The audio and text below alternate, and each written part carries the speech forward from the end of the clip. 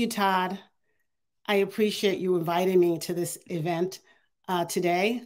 I am joining you from Los Angeles. As Todd said, my name is Selika Josiah Talbott. Um, I'm honored to speak on a topic that impacts my daily work, but I think impacts us all. The subject of artificial intelligence and how companies and individuals can work together to bring about diversity of thought, new approaches and strategies, and making sure that a broader segment of humanity is considered when we are developing technology. Little history. Um, it's been widely stated that artificial intelligence um, began somewhere in the 1950s in an effort to solve complex mathematical problems and create thinking machines. Uh, we had talked initially, I think, as an industry about two approaches to artificial intelligence as using formal rules to manipulate symbols, um, a more logic based approach, not at all based on any biology. And then the second approach, sort of the true nut of artificial intelligence, um, took its leanings from how the brain works, right? Trying to simulate uh, humanity um, in order to solve certain problems, or at least we hope so. In the early days, things moved a little slowly. Um, there wasn't a tremendous amount of funding back then. And, um, and in the early days, it was difficult for the industry to um, sometimes be taken seriously. But as we think about it today, boy, oh boy, has artificial intelligence come a very, very long way. Uh, today, it seems like you can't do anything without artificial intelligence being somehow integrally a part of it. It's a natural part of our existence in places and spaces where some people wouldn't even anticipate or expect it. And with each new leap of artificial intelligence, we're in some ways altering the state of humanity so that how we develop it, how we train it, and how we implement it, it is critical for society at large. If you've ever played a video game, you know that it's fertile ground for artificial intelligence. The world of video gaming and AI is integrally entwined. But have you thought about music? Artificial intelligence is now powering computer systems so that we're producing all kinds of music from jazz and classical to, to modern day music. Uh, what about the arts? Artificial intelligence is now creating paintings. Um, and although they say you, beauty is in the eye of the beholder, um, artificial intelligence is creating, some might say, some masterpieces. What about plain old detective work? I used to work for the Motor Vehicle Commission.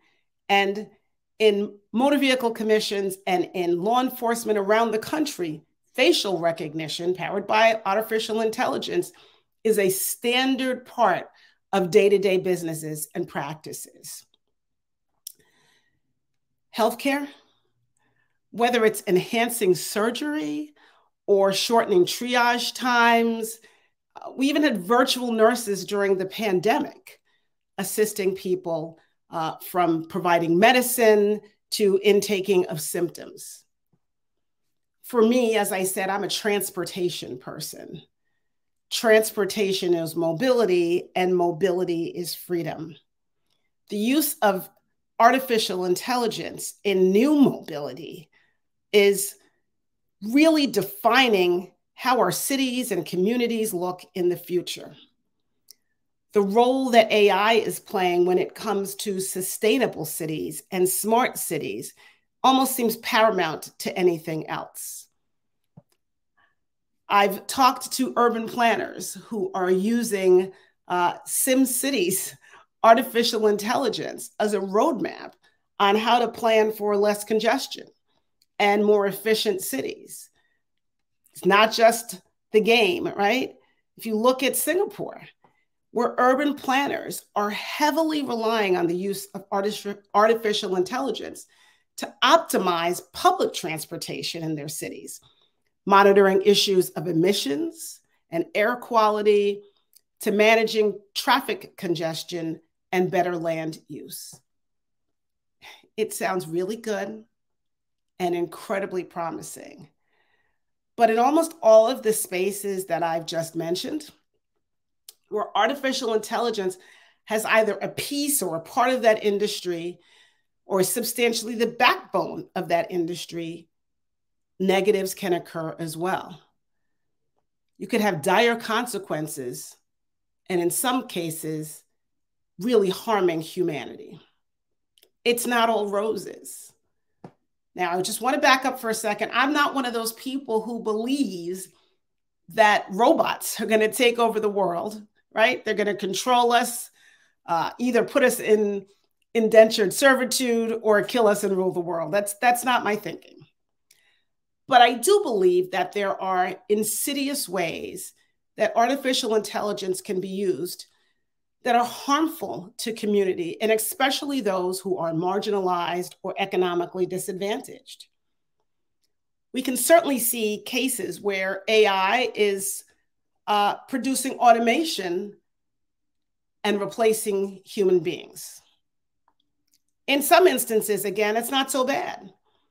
Uh, take the delivery robot, for instance as we see company after company roll out, roll out their sidewalk delivery bots or their roadway delivery devices, some have pushed back to say, you're replacing the delivery driver.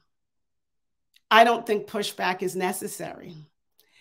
If you're making $15 an hour as a delivery driver, especially in a place like Los Angeles, I can assure you you can't own or rent a home, own a vehicle, feed and clothe your family, and provide the basic needs of life.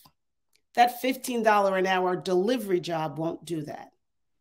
So let the robots deliver the goods that we need because it doesn't sustain us as people.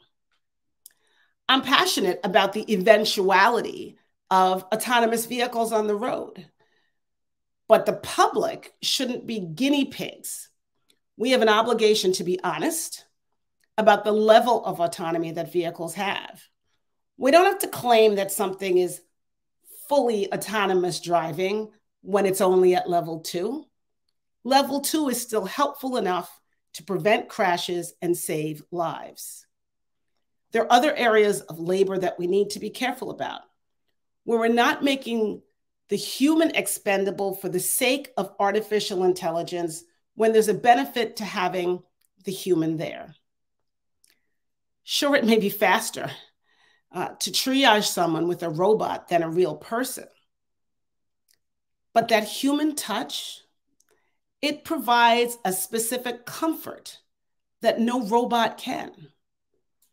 Perhaps we can concentrate on artificial intelligence in spaces that speed diagnoses and cures without removing the ability for bedside human care.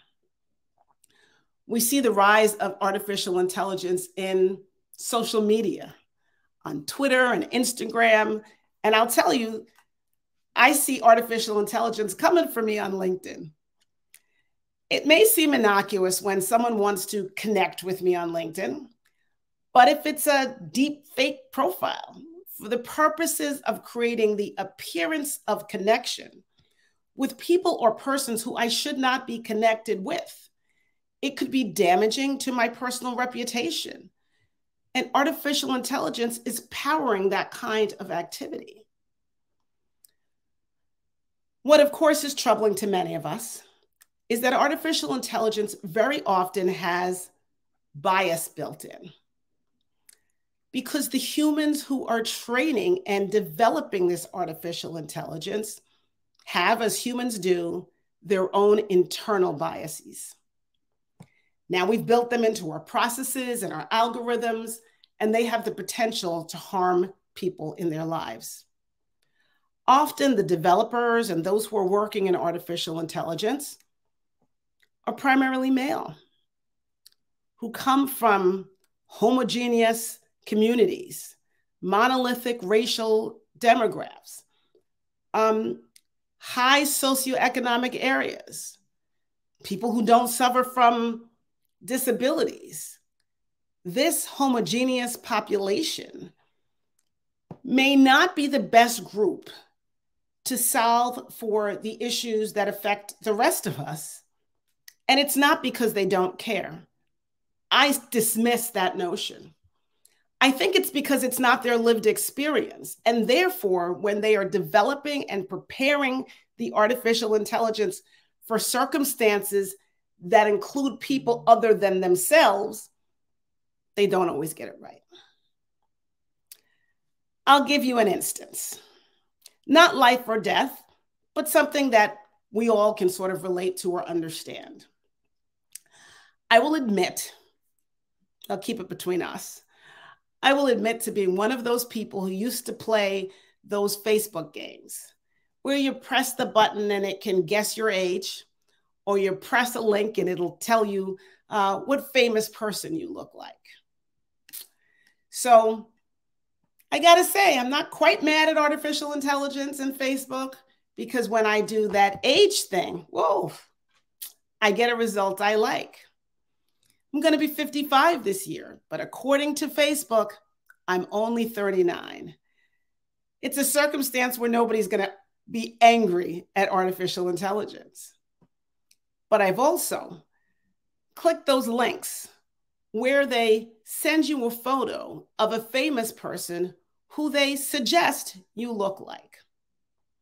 In each and every occasion where I've clicked that link, the person that I'm compared to is always a Caucasian person.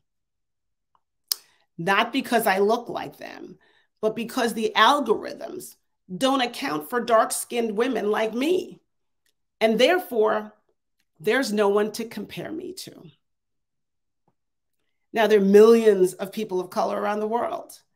And yet, algorithms on probably one of the most widely used social media platforms in the world isn't accounting for us. Now, again, I'm old enough to have been raised at a time that didn't include Facebook and Twitter and Instagram and, and LinkedIn. But for all the children who are being raised in this age, the ones who are playing those games when they're still in their formative years, they're interacting in a manner that says they're not important. The artificial intelligence isn't considering them. So somehow they're not part of humanity. There are so many other public apps that do the same thing. And where often the default is either Caucasian or male as a society, we have made extraordinary technical strides. We've cured illnesses, we've extended the life of the average man or woman. We've created these tiny little instruments that we carry around in our hands. They provide us with information on almost any subject that we could possibly think of. They link us in communication with almost anyone in the world. But as we continue to develop, as we continue to make these technological leaps, it's not sufficient if we don't take into account that first we should be problem solvers. And in that problem solving, we should take into account the whole of humanity. The developer, researcher, scientist, technologist, they're inventing. The social scientist is implementing. The public wants to be able to trust us. They want to be able to lean on an understanding that the work that's being done using artificial intelligence is for their good, that's taking them into account, that doesn't unnecessarily replace them, but is a benefit, an add on, a plus as the developer, researcher, scientist, technologist, social scientist does their work, we have to consider the impact. Are you doing good or are you doing bad? we shouldn't just do things because we can. We should do them because we can make the world better for it. I want to thank you for having me.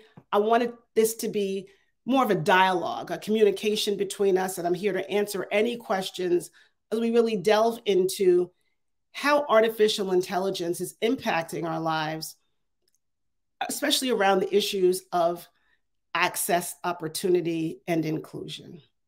Thank you. Todd?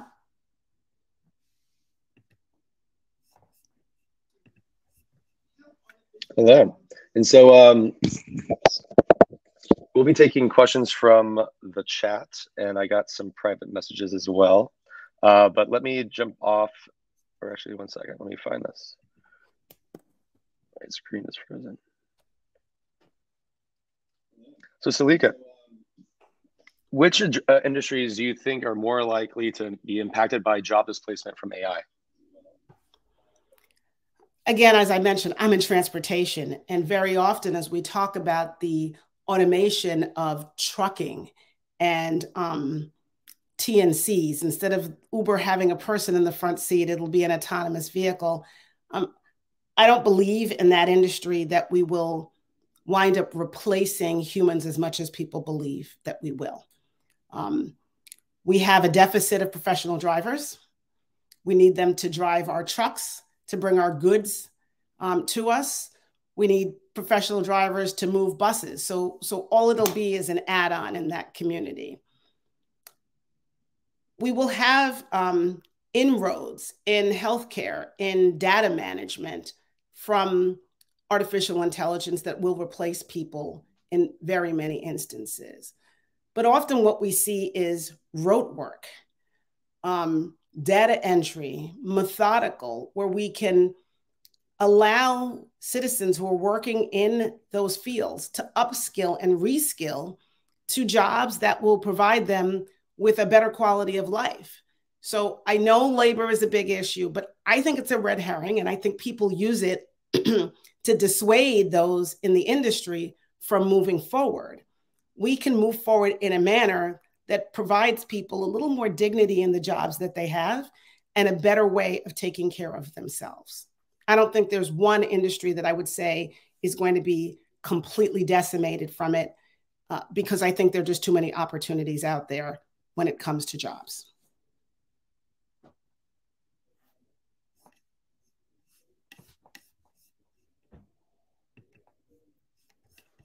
Anybody else?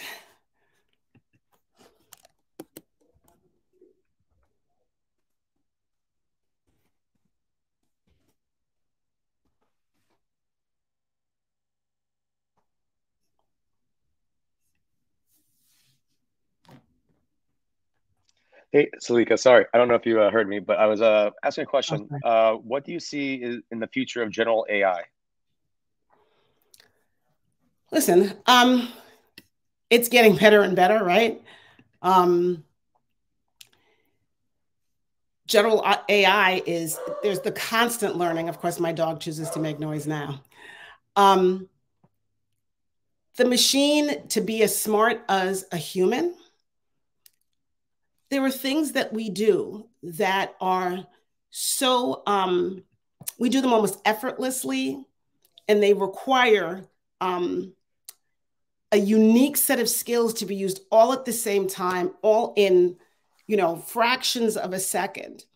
It's one of the reasons why in automation um, if we're really being honest will we ever get to to this level five where a vehicle can travel anywhere anytime under any circumstances because what we do as humans when we drive a car, these instinctual actions that do avoid crashes, that do keep us safely on the roadway, are almost impossible to mimic through artificial intelligence. So, what we know can be done is in geofence spaces, in again, this sort of rote methodical routes that autonomy works well.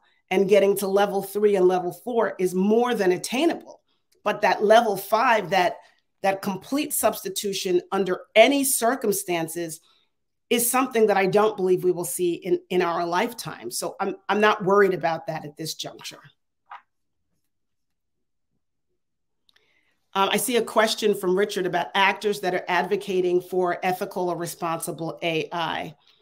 Um, there are some. At the end of the day, it's a business where people are developing and they're making these technical strides.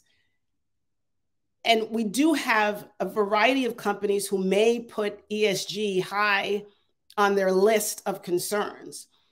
But all too often, those who are making the most money and who are the greatest actors um, in, in society don't include this environmental, you know, societal governance um, as being pivotal to their business um, enterprise. And so today we see more individuals.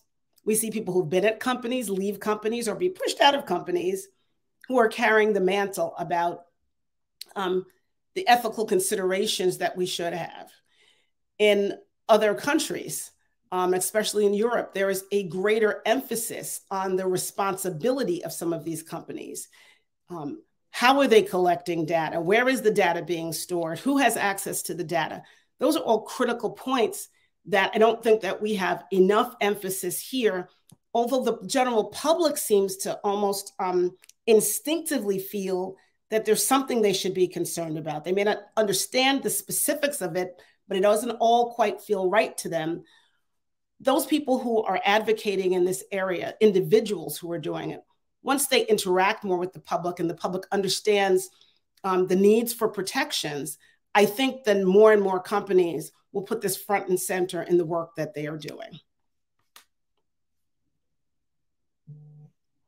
There's a question um, may not be going in order because we see a lot. How can we create diversity and inclusion in the AI um, talent development?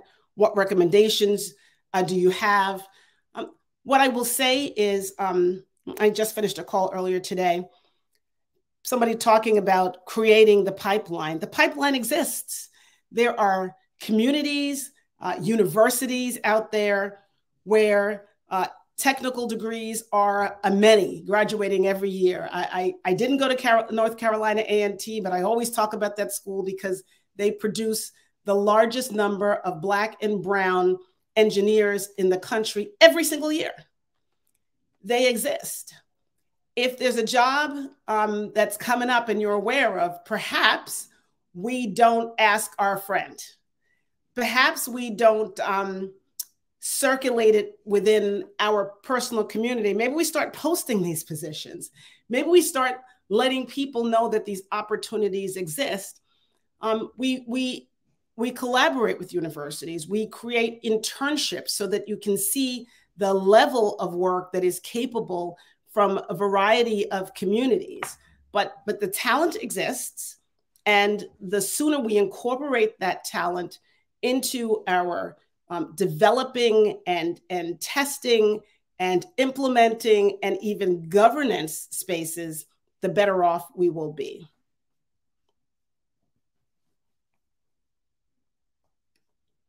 Um, human centric applications of AI. Um, I don't know that my AI has to be human. I, the what do I want the intelligence for? Do I want the intelligence to for the sake of replacing a human being? Or do I want the intelligence to assist with a problem that we have in society? And in order to solve that problem, it requires artificial intelligence to get it done.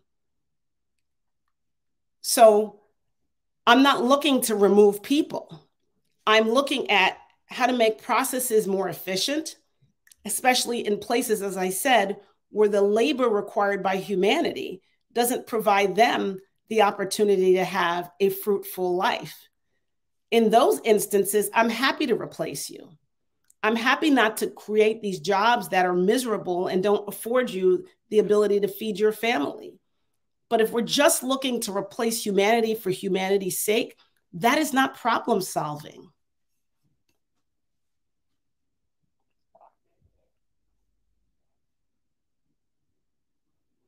Um, Dave, I'm going to read your question. It says, when do we see AI replacing large volume of jobs in the mobility space? What should we do about that? Should we do anything? And it is an inevitable situation. Um, others have literally caused uh, such situations with algorithms deployed at scale. So it's very interesting when we look at mobility. Um, there is a fear that um, you know autonomous vehicles will completely replace human beings, and um, I'll use New York City as for instance, where AI, you know, these autonomous vehicles are coming and coming, and the Taxi and Limousine Commission is pushing back, and they found that um, they don't have to be fearful of TNCs. Um, the the TLC can continue to operate. These um, network controlled um, app generated mobility um, companies can work in tandem with the existing taxi and limousine commission. And it, we've seen that even for the network controlled mobility providers, it's not a panacea, not making money.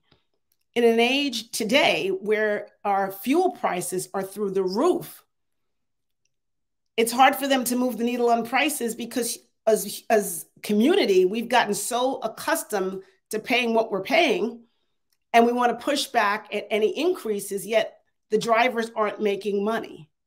They aren't making money. Do we want bodies to stay where bodies can't be successful? Or would, is that the better space that AI can move into? And in places, as I said, where you could have a human touch and a human presence, especially in healthcare, I don't need a robot to take that space. A person can still give me that human touch by my bedside while maybe the AI is developing and creating faster ways to diagnose what's wrong with me and, and provide the cure. Should you increase regulation for responsible AI? Well, I think, you know, I'm not sure if Todd mentioned this at the beginning of the introduction for me. I'm a lawyer by training. For 18 years, I practiced as a product liability defense attorney. Um, you know, if, if we don't regulate it, if we don't get our hands around it and, and really grip onto the ever increasing artificial intelligence, then absolutely the legal community and the courts will do it for you. Because when harm is done, and it was foreseeable or should have been foreseeable, when we've created devices and we've embedded artificial intelligence that then eventually harms people, uh, the law will hold you responsible. They may not hold you criminally responsible, but if it is a defect in design or a defect in manufacturing, and there is provable harm, you bet some court is eventually going to force the issues of regulation concerning and involving artificial intelligence. And before we even get there, if we turn to European models, they're way ahead of us on this.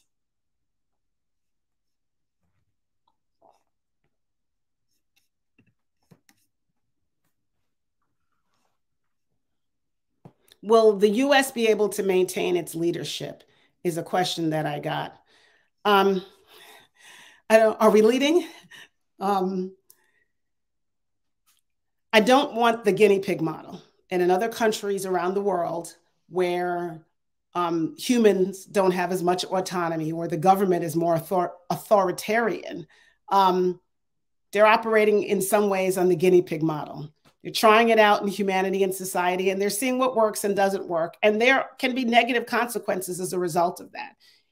But those are homogeneous societies that that happens to.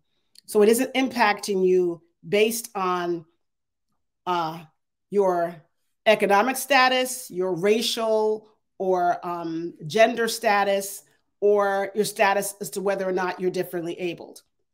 That's not impacting them in those spaces.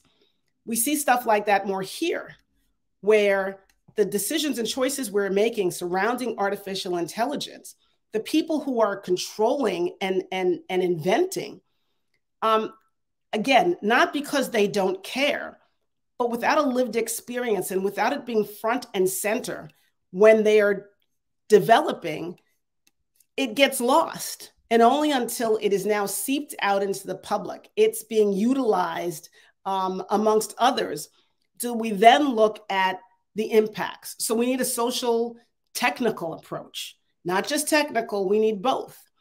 Do we have um, values modeling in, in businesses and corporations? Are we looking at the data set, sets? Are we looking at the humans who will be interacting with this artificial intelligence? Are we testing and validating what we believe will be the outcomes? And who's verifying and evaluating that? Um, there have got to be ways, um, and some people believe there are, and they're implementing them to mathematically verify bias.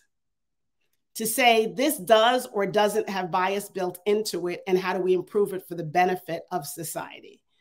We need good governance models. It can't be again and after the fact side by side partnering as things are being developed and tested and rolled out, what's your governance strategy? Um, the data that we use to train AI is the data factual? Are there biases built in? Um, one of the things I've talked about frequently as a result of COVID, when we look at our transportation systems, we had modeling that determined um, we're going to stop certain movement on transportation lines based on um, people staying at home. And as social scientists and urban planners and, and government regulators started to look at what we call peak travel, we've now understood, those of us have understood it longer who lived it, that this notion of peak travel times on public transportation is a fallacy. That is predominantly sort of the white collar worker going into an office travel times, and that the travel times of the essential worker isn't a nine to five thing. The essential worker, the, the nurse who is working an overnight shift, the um, garbage collector who has to be at the depot at three or four o'clock in the morning. The people who are the backbone of our community, law enforcement, um, first responders, they're not on a nine to five. The models and data that we are using to influence the decisions that we are making, to influence the technology that we're developing, without good data sets, we are again baking into, into these systems further bias and making it even more difficult on people and humanity to move around. So we need to see where our data is coming from. And again, that requires more people in the room, a diversity of thought, a diversity of circumstance. If you look around the table, and this goes in any community, if you look around the table and everybody around the table looks like you and probably comes from a similar community that you do, how are you going to get a diversity of thought? And that diversity of thought is good for business.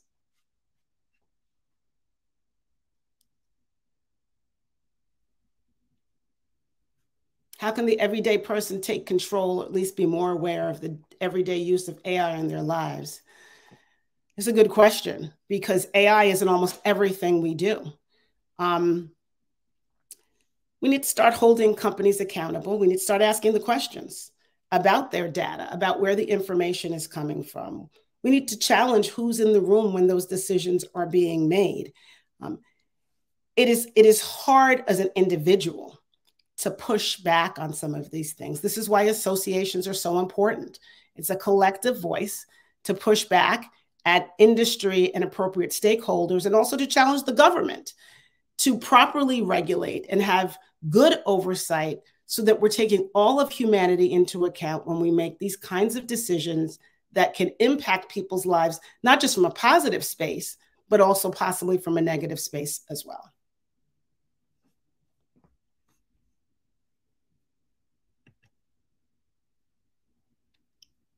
Todd, I think I'm uh, running up against uh, your clock, and I want to be mindful of your time. Yeah, how about we uh, ask one more question and then we'll go to um, and then uh, that'll be it. Okay. Is there a particular question you want me to answer?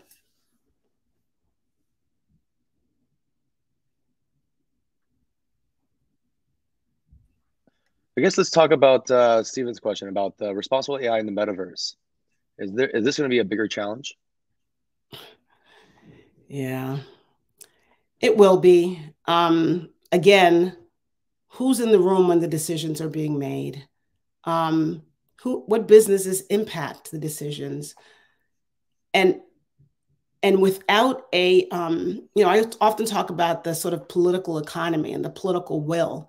Political will is often um, stimulated by the push, this swell of public sentiment.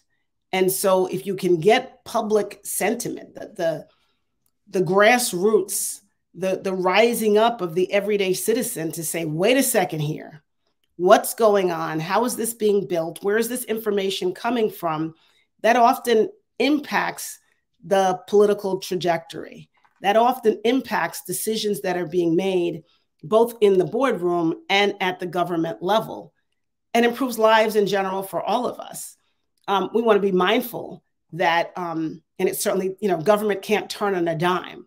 Business is a little bit more nimble and and you don't want to um, to be in a position of um, of negatively impacting or impeding um, the march of innovation. You just want to make sure that the innovation is problem solving for real problems, and then of course taking into account um, the whole of humanity and not just very tiny subsections.